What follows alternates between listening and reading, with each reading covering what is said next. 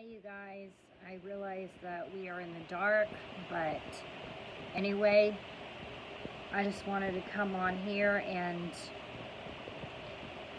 for all you songwriters out there, tell me this. How do you guys memorize your songs? I guess it's it's easier for you guys because you can you can just write it down and once you have it written down and you can record it you can read your lyrics and you can you can sing them as you're recording. And you can look at your lyrics. Well I don't have that luxury.